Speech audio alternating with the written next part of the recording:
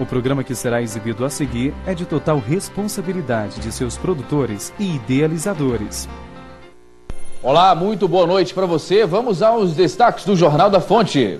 Avenida T63 ganha reforço na fiscalização ao motorista infrator.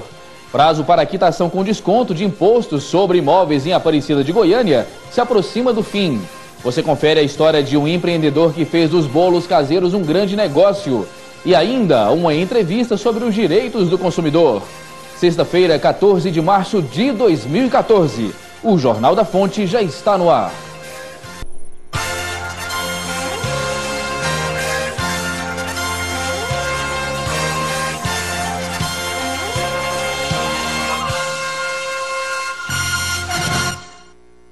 Termina na próxima segunda-feira o prazo para os donos de imóveis de Aparecida de Goiânia quitarem o IPTU e o ITU com desconto. O benefício é válido para quitação em parcela única até o dia 17 de março.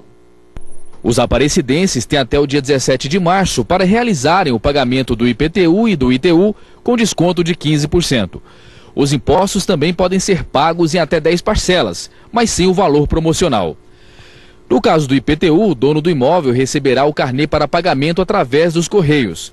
Já em relação ao imposto territorial urbano, a guia para pagamento já está disponível no site da Prefeitura www.aparecida.gov.br e também através de unidades de atendimento da Prefeitura, nos bairros Garavelo, Nova Cidade, Centro, Santa Luzia, Cidade Livre e Vila Brasília, além de postos de atendimento no Boriti e Araguaia Shopping.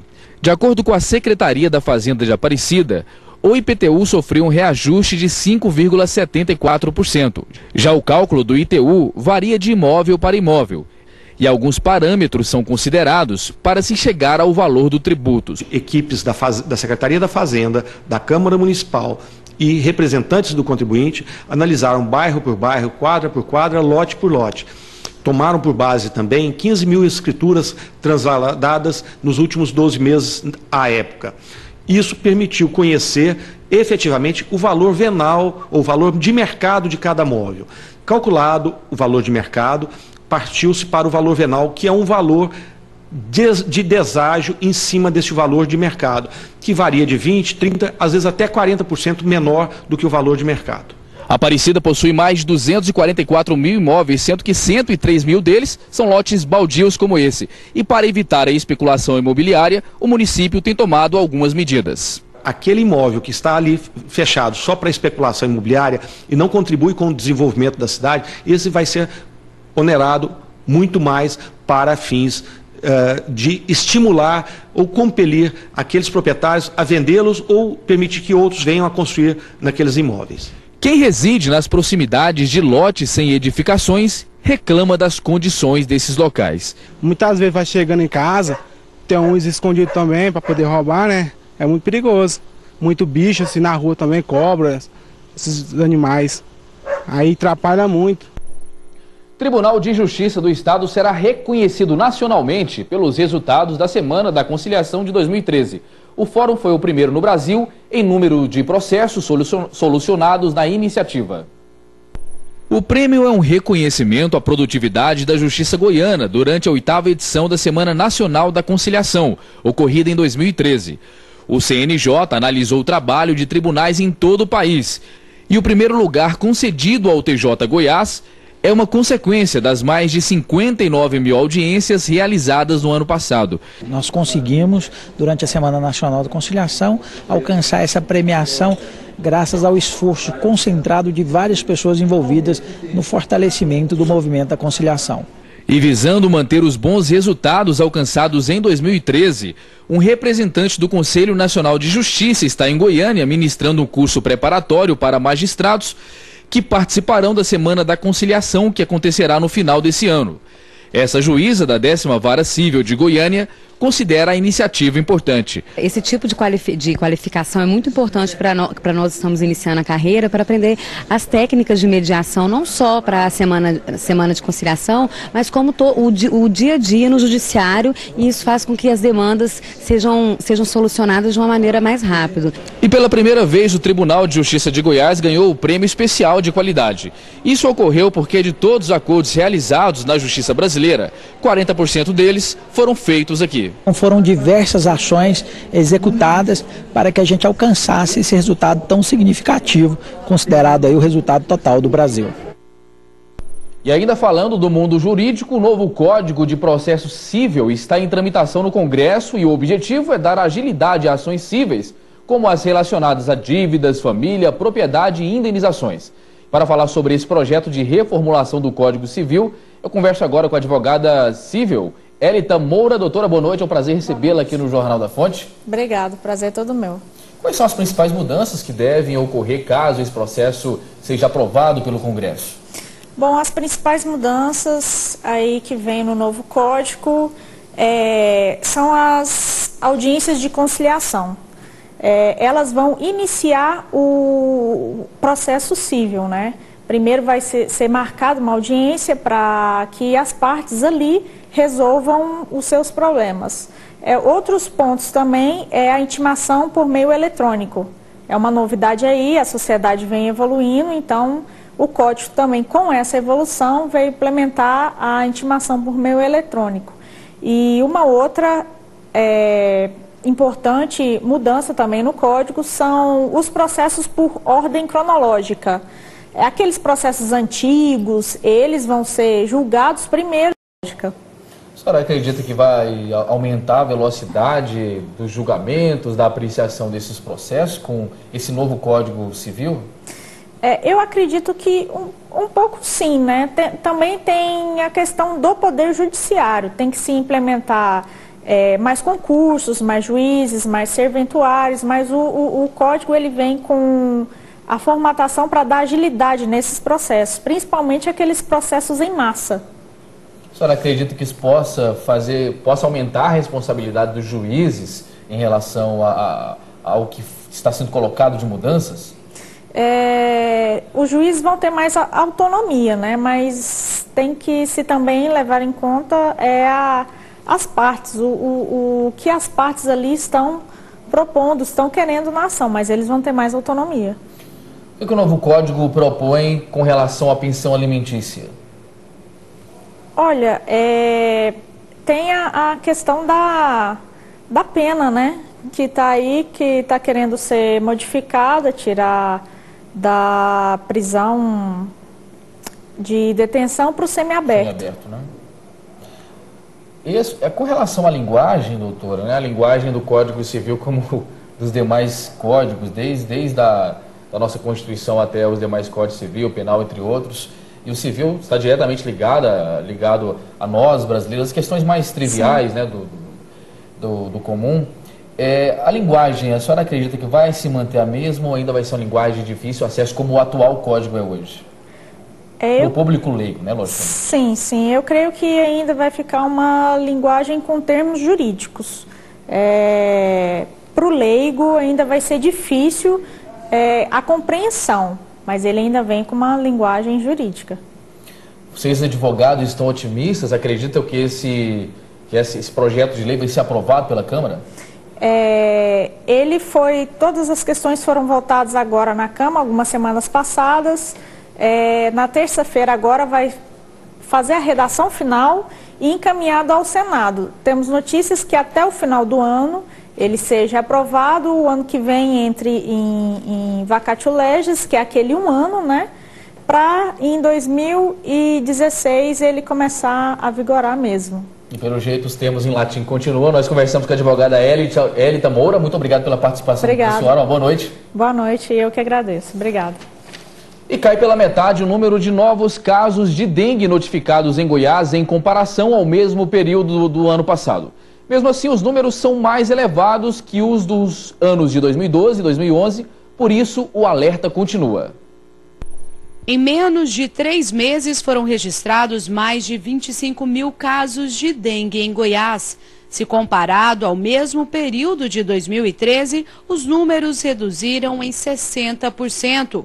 Mas o coordenador de controle de dengue da Secretaria Estadual de Saúde destaca que não há motivos para comemoração, já que no ano passado o estado registrou a maior epidemia da doença, com 85 mortes confirmadas. Nós vivemos uma epidemia o ano passado. Então seria até injusto fazer essa comparação dessa redução. Isso poderia muitas vezes trazer benevolência à população e muitas vezes baixar a guarda por parte dela e acabar não combatendo essa doença. A maior incidência da doença está concentrada em Goiânia e região metropolitana. Este ano, seis pessoas morreram de dengue em todo o estado. O combate à dengue não é único, exclusivo do poder público. A sociedade precisa tirar 10 minutos do seu tempo para que possa ajudar o poder público no combate a essa doença. Pedimos a todos os moradores que se transformem em verdadeiros agentes de saúde e com isso tentem eliminar criadouros. Olhe a caixa d'água, calha, qualquer dispositivo que possa acumular água parada e com isso acabar formando criadores do mosquito da dengue. Então a população precisa ajudar o poder público no combate a essa injúria que tem assolado a população goiana. E servidores da educação interrompem os trabalhos na próxima semana. A mobilização é nacional e os funcionários da rede de ensino do estado também participam. Nós vamos falar agora com a repórter Cristiane Rodrigues para saber como será essa manifestação e o porquê da paralisação. Boa noite, Cristiane. Boa noite, Segismar. Boa noite para você que está em casa. Professores e trabalhadores administrativos da educação participam da greve nacional contra o descumprimento do piso salarial. Sobre esse assunto, eu vou falar agora com a presidente do Sintego, Ieda Leal. Boa noite, Ieda. Quais os aspectos, né? Como que essa lei vem sendo descumprida? É, boa noite a todos. Exatamente, é 17, 18, 19, o Brasil estará parado é, para lutar contra é, esses descasos, esses desmandos dos governos, dos prefeitos. Não estão cumprindo a lei do piso, não respeitam os administrativos, o plano de carreira dos administrativos. Nós queremos também cobrar do governo federal a aprovação do PNE imediatamente, é, que os royalties do petróleo de fato sejam voltados para a educação. Então nós estamos numa grande tarefa de fazer com que esses três dias dias, eles valem a pena e que a gente conclama toda a nossa categoria, convocamos todos os trabalhadores da educação para que dia 17, 18 19 nós estejamos numa grande frente, frente em defesa da educação pública de qualidade. Existe possibilidade desses três dias serem estendidos é, a mais tempo né, de greve ou realmente inicialmente será só o dia 17, 18 e 19? Não, nós temos a disposição, estar dialogando e discutindo, mas também nós temos a disposição, caso nossas assembleias elas indiquem isso, é uma greve por tempo determinado. Neste momento é uma greve de três dias, 17, 18, 19. Nós vamos começar com uma atividade é, em frente ao Paço Municipal na segunda-feira, com uma grande manifestação, e queremos nos dias 18 também fazer grandes manifestações com uma aula da cidadania aqui em Goiânia, e vamos dia 19 para Brasília, para pressionar também o governo federal. Vamos pressionar o os governos municipais, o governo estadual e o governo é, federal. Agora, a educação vem enfrentando vários problemas, né, Ieda? Não é de hoje. É, qual que é o motivo específico dessa paralisação? O que que os, os, é, os servidores estão buscando realmente com essa paralisação? É, os professores da rede estadual, nós estamos muito insatisfeitos, porque o governo vem dando calotes, mais calotes em cima dos trabalhadores em educação. Agora ele manda para a Assembleia uma lei que vai cumprir o piso para P1 e não vai cumprir o piso para P3 e P4. Nós vamos ter, ter, de novo, né, vamos rever o mesmo filme que foi passado ano passado por nós, um calote de quatro meses. Então nós não aceitamos e vamos brigar por termos a nossa lei do piso respeitada. É também a questão dos administrativos, que a pauta do administrativo, o governador não cumpriu nenhum ponto. Ok, nós agradecemos a participação. Boa noite, Eda. Eu que agradeço, um grande abraço e até dia 17. É isso, Segismar, volto com você.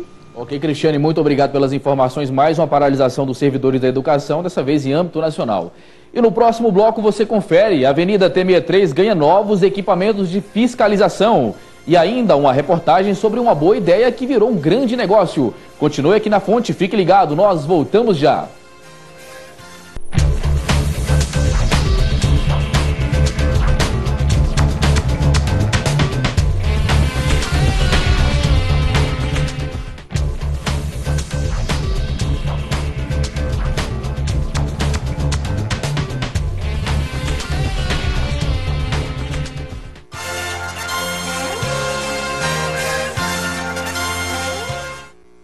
O Instituto de Estudo e Defesa das Relações de Consumo IBEDEC Goiás lança hoje a cartilha do consumidor.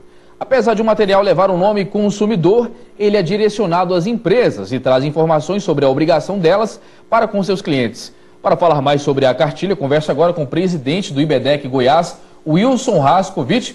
Doutor Wilson, boa noite, obrigado por estar conosco. Boa noite, Sidmar, é um prazer.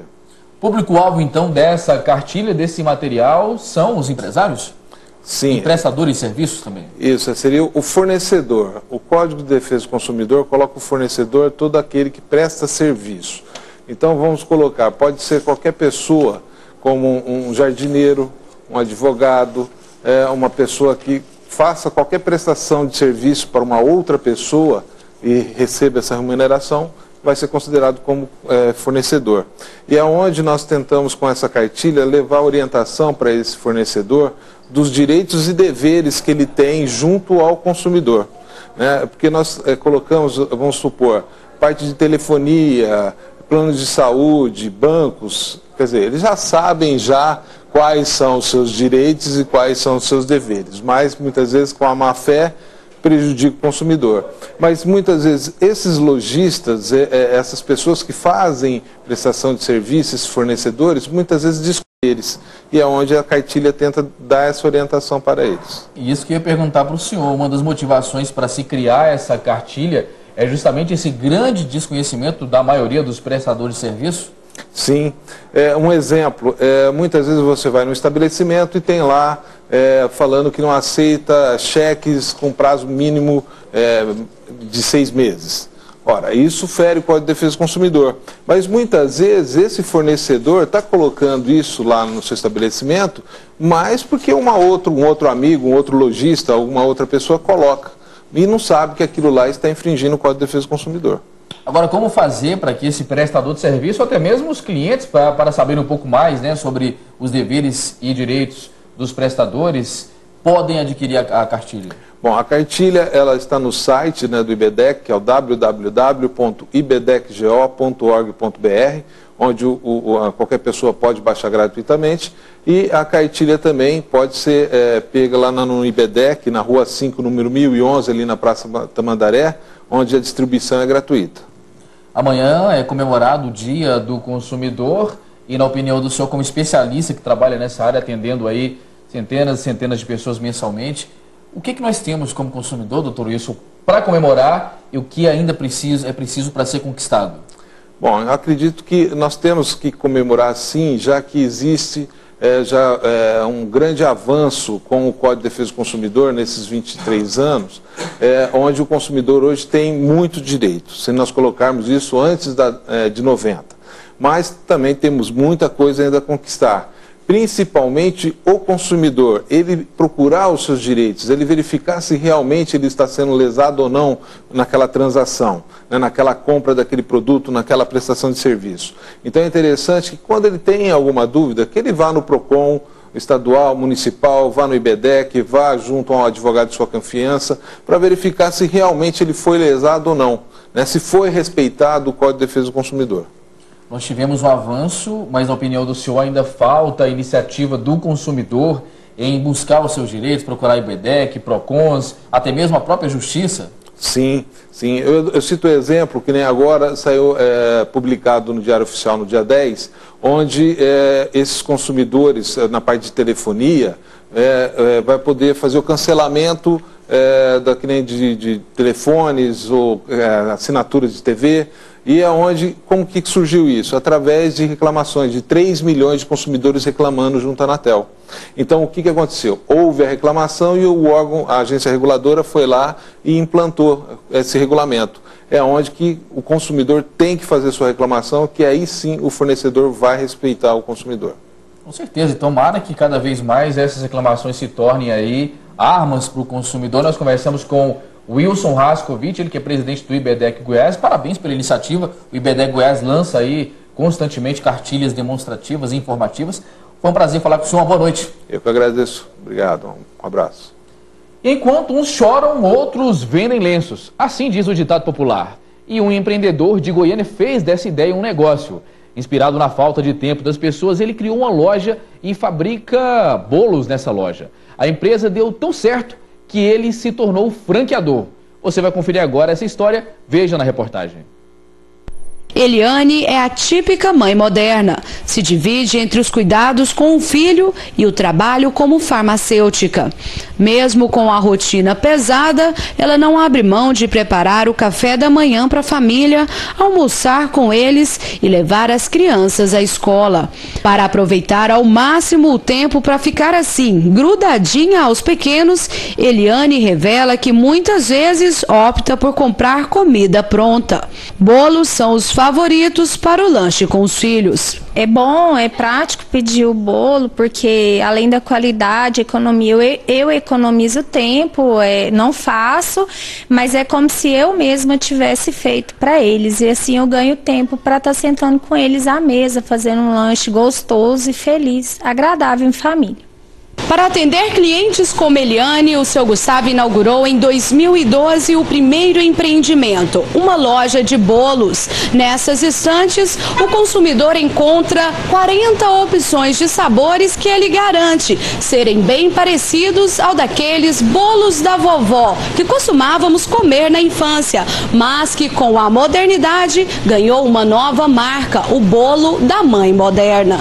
As lojas hoje, bolos do Cerrado, ela vem oferecer à mãe e ao pai que não tem o tempo de levar os filhos ou aos colegas de trabalho um bolo artesanal caseiro, vem às nossas lojas buscar esse produto. Comprar o bolo é muito prático e a qualidade também do bolo é muito boa. Não tem tempo mesmo para estar tá fazendo o lanche para os meus filhos. Após a inauguração da primeira loja, o seu Gustavo foi ousado e experimentou voos ainda mais altos. Em menos de um ano, expandiu o negócio. Ele iniciou o processo de franquia da marca. Atualmente, a rede conta com quatro franquias, duas delas em Goiânia, uma em Senador Canedo e uma em Tocantins. O comerciante disse que a expansão partiu de interesses dos próprios clientes que buscavam informações em como montar um ambiente para comercializar bolos. Então, ser um franqueador é como se nós fôssemos um tio e o franqueado fosse um sobrinho, que nós temos uma responsabilidade pelo sucesso dele. Então, o nosso compromisso ele inicia eh, num contrato comercial e ele não encerra porque qualquer dificuldade que ele tem no negócio dele é a nós que ele recorre para tirar suas dúvidas. Esta consultora do Sebrae em Goiás destaca que antes de investir no sistema de franquias, o empreendedor deve fortalecer sua marca e conquistar o público-alvo do negócio. Então ele precisa primeiro se fortalecer, fortalecer a sua marca. E a, então assim fazer um estudo para formatar a sua empresa a fim que ela vire uma empresa franqueadora. De acordo com dados divulgados pelo Sebrae, o número de redes franqueadoras saltou de 600 em 2001 para mais de 2 mil em 2011, um crescimento de 238% em 10 anos. E Ascara destaca que o ramo de franquias está em contínuo crescimento no país, mas ressalta a importância do perfil do empreendedor na hora de operar optar por uma franquia. Para cada segmento, você precisa estar atento se você se adequa, se você é um empreendedor em que você prefere algo que já esteja pronto, formatado, ou então se você é um empreendedor mais ousado, que gosta de ser criativo, que gosta de inovar e quer ter o seu próprio negócio, avançar, então é preciso analisar esses dois perfis e ver qual você se enquadra. Uma pesquisa realizada constatou que 31,3% das micro e pequenas empresas fecham as portas antes de completarem quatro anos de permanência no mercado. No setor de franquias, o índice de sobrevivência é seis vezes maior. A Associação Brasileira de Franchising estima que essa taxa não é superior a 5% no mesmo período. O último ranking da associação aponta as maiores redes de franquias do Brasil. O O Boticário ocupa o primeiro lugar com mais de 3.600 lojas. Em seguida, a marca Ortobon, com mais de 1.800 lojas. As franquias do McDonald's ocupam o terceiro lugar no ranking. Outro dado interessante é que apenas 3,6% das redes de franquias estão instaladas na região centro-oeste. Para o seu Gustavo, os negócios são sempre uma forma de aprendizado em parceria. O comércio e a vida é um aprendizado todo dia você aprende. Você aprende com o cliente, aprende com o franqueado, aprende com o fornecedor. Então acredito que a gente nunca estará pronto. Nós sempre estaremos num processo de aprendizado.